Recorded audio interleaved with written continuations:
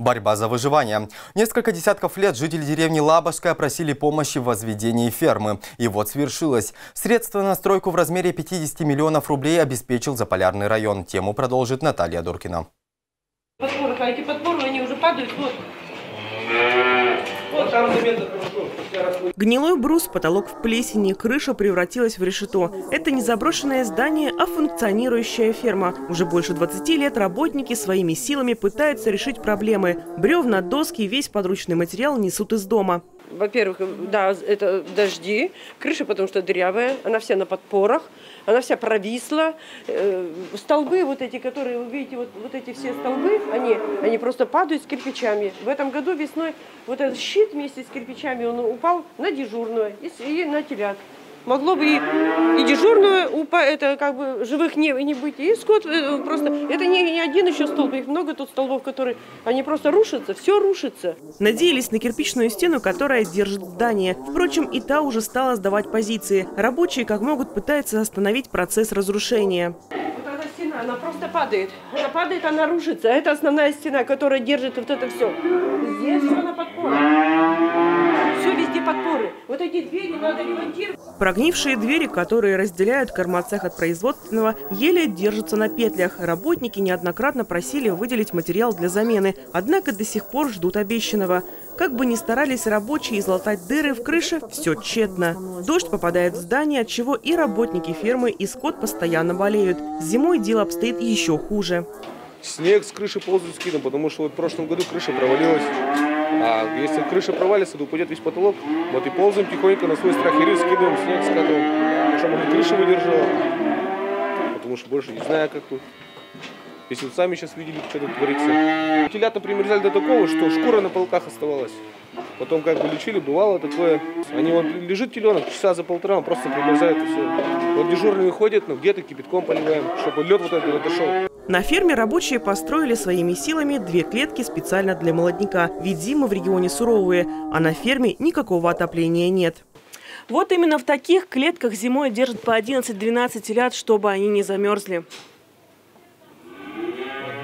Всего на ферме 61 теленок. Из них до года 36, старше 25. Вместе со взрослыми 97. Здесь делают вкуснейшее, по словам местных жителей, масло, творог, молоко. У нас ведь продукция хорошая, у нас спросом пользуется. Масло вкусное, молоко у нас замечательное, творог, сметана. А вот, видимо, не, ну, видимо, в городе никому не, не надо, наверное. И молодежь скоро убежит. Правда, бежать некуда. Сами знаете, сейчас какая жизнь тяжелая. А вот, да, молодежи, получается, обещали места на новой ферме? Да, да, у нас ведь много молодежи, еще даже с города, который Лапышский, на Винмаре живут, вот тут одна семья есть, они сказали, говорят, была бы работа, хорошая работа, должность, допустим, даже ферма теплая, мы вот приехали бы всей семьей, они даже здесь дом купили.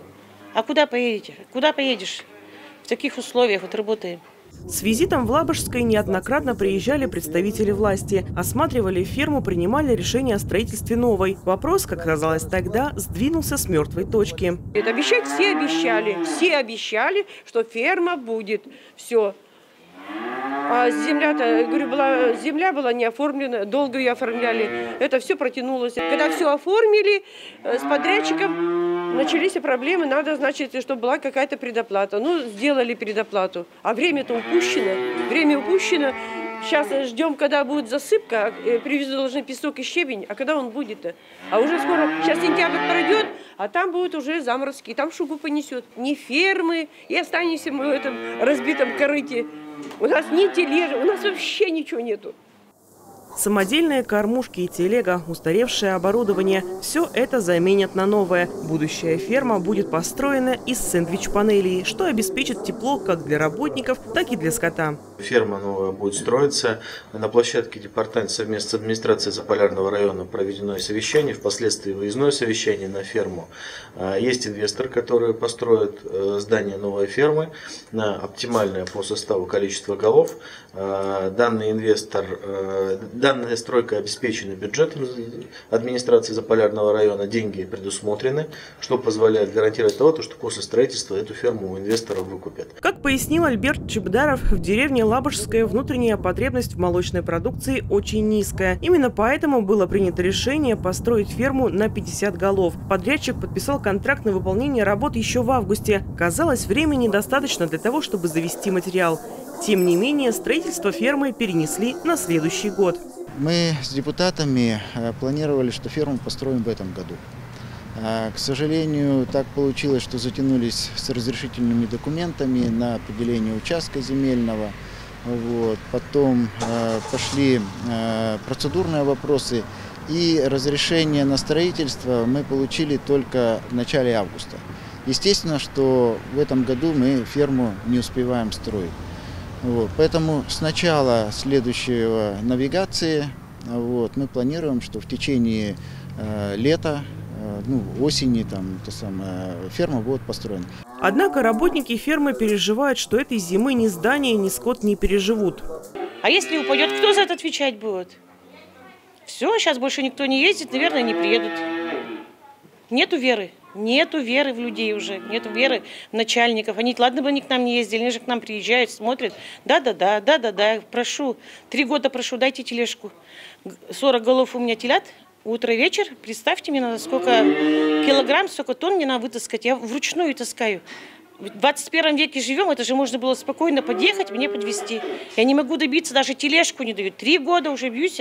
Не, бесполезно. Привезем, привезем. Сейчас кричат, денег нету.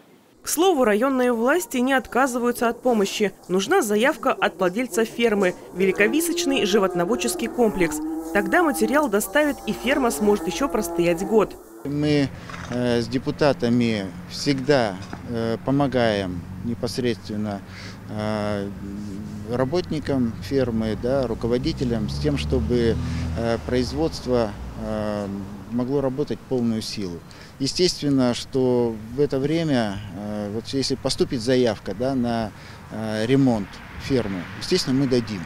Для этого нужно посуетиться руководителям, вот, с тем, чтобы оформить, ну и в том числе администрации Заполярного района, чтобы внести ее на октябрьскую сессию, чтобы мы могли принять это самое на каком этапе в данный момент находится подготовка к строительству, к сожалению, не удалось узнать. Подрядчик категорически отказался от комментария.